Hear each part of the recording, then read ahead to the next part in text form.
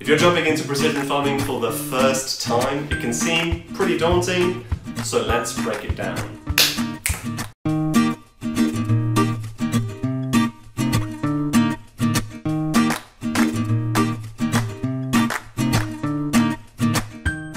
Hey crew, it's Matt from the FarmHow Guys. My favourite topic in precision farming, also known as error correction, is probably more of the complicated aspects of precision farming. You need to know a little bit more than your average smartphone user. And the reason for this is that prices vary, equipment varies, and also the outcomes used with these different error corrections vary. So yeah, my favourite topic. Standard GNSS, similar to what we see in our smartphones today, is accurate to approximately 5 to 10 meters. Now, when it comes to precision farming, 5 to 10 meters mm, just doesn't cut it really. This is where we need error correction and we need improved accuracies.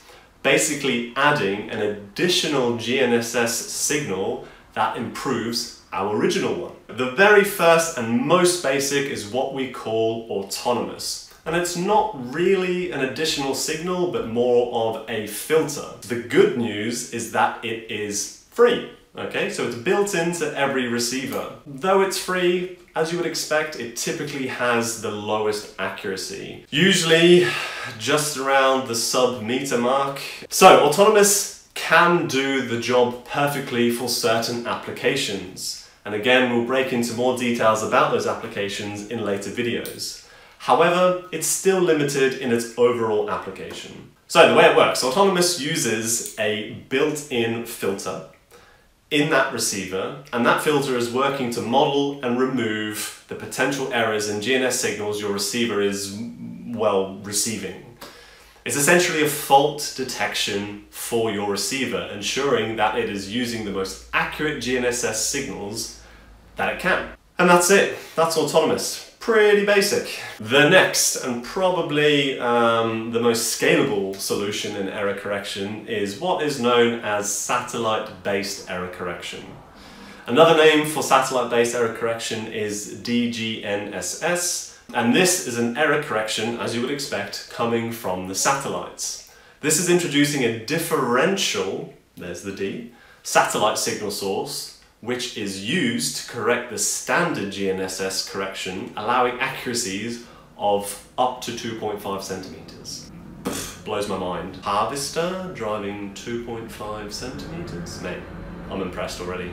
With satellite-based error correction, the satellites used aren't the same type as the ones that are used with the GNSS. We call the satellite-based correction ones geostationary satellites. Okay, so they are stationary fixed in one place versus the GNSS satellites, which are in constant orbit. So when you subscribe to a satellite-based error correction, you are subscribing to connect to these geostationary satellites. Starting off, everything looks the same as an autonomous signal. We have the same hardwares and tracking the same GNSS satellites. However, we've now introduced that geostationary satellite. The geostationary satellite Though it's a satellite, isn't that clever. It's essentially just a mirror to broadcast the computed error correction. Now the real clever part is computing that error correction. And to do that takes a load of ground reference stations and some algorithms that I can't even explain. But these ground reference stations, usually owned by the correction provider, are able to process the errors from GNSS signals because they are stationary. They have a known position. They are not moving like the tractor or autonomous filter is. And this is the key for error correction, which you will learn in the next type.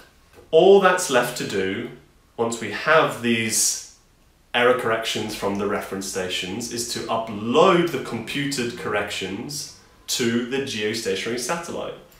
And we ping it to the geostationary satellite and boom, you have your correction once your tractor or your receiver connects to that geostationary satellite.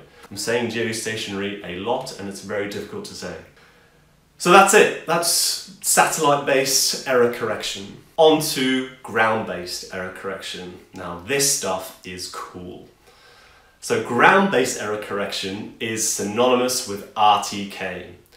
RTK stands for real-time kinematic, which indicates how the signal works itself. Today, RTK, or ground-based error correction, is the most accurate correction signal in precision farming and in agriculture today, and also construction. The way it works is based much on the same theory as satellite-based. However, the processing is done a little closer to home. Ground-based error correction requires what we call a base station, which is the correction source, and also a radio or modem, which is the correction receiver on the rover side, or the moving target, let's say, which is your harvester or your tractor or your farming equipment. So how does it work? Well, the starting point is always the same a receiver on your machine, and GNSS satellite signals. With RTK, we then introduce that base station. The base station can be in a fixed format, or it can be in a mobile format. But the key is that when that base station is working, it's stationary with a known position. That allows it to generate its error correction, much like the reference stations in the satellite-based uh, error correction method. Okay, so we have the base station generating its error correction because it's in a fixed location. We need to get it to our machine. With satellite-based error correction, we use the geostationary satellites. Obviously, we don't have that option with RTK. What we do have, though, are either a radio or a modem. So radio frequency or modem, which is connected to the internet. Same internet that our mobile phones use. Very clever stuff, we'll go into more detail. Now our machine is connected to our base station, either through radio frequency or through the modem using the internet. That's pretty much the job done. With RTK correction signals, you pretty much get accuracy like that. So that's basic error correction used in precision agriculture today. Needless to say, there is a load more to learn on the topic, and we will cover more on it across our Precision Farming Fundamentals series. Go check it out to learn more, guys. In summary, improving your farming efficiencies doesn't need to be complicated, and we're here to ensure that.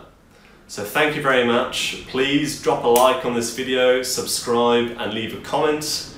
We love a chat on this stuff. I can geek about it all day and I'm here to answer any of your questions. Thanks guys, bye.